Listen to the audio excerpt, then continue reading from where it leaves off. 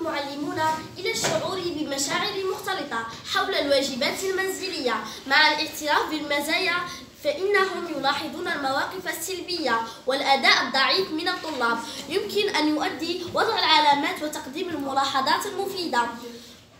الملاحظات المفيدة حول الواجب المنزلي إلى نسبة كبيرة من وقت المعلم غالبا بعد ساعات الدوام المدرسي. ويمكن من خلال الواجبات المنزلية أن يقيم المدرسون نقاط القوة لدى الطلاب وتحديد نقاط الضعف لتقوية الطلاب وتحسين مستواه.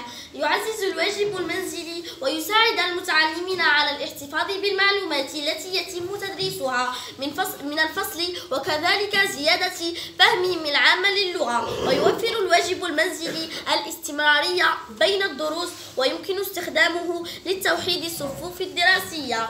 ولكن أيضا لتحضير الدرس القادم فإنهم فإن الواجبات المنزلية تساعد على محو الفجوة بين المدرسة والمنزل. فعلى الطلاب والمعلمين والأولياء مراقبة أمور التقدم إن الواجبات المنزلية المنزلية أداة أداة تقييم مفيدة كجزء من التقييم المستمر فلا عجب أن يوصي رسولنا الكريم صلى الله عليه وسلم على طلب العلم. قال رسول الله صلى الله عليه وسلم اطلبوا العلم من المهدي إلى اللحد وقال أيضا اطلبوا العلم ولو في الصين. وقال أيضا طلب العلم فريضة على كل مسلم ومسلمة. فكان يذهب الرسول صلى الله عليه وسلم إلى غار حراء ليتعبد.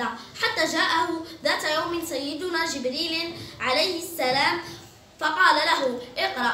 قال رسول الله ما أنا بقارئ فقال له اقرأ باسم ربك الذي خلق. خلق الإنسان من علق. اقرأ وربك الأكرم الذي علم بالقلم. علم الإنسان ما لم يعلم. صدق الله العظيم.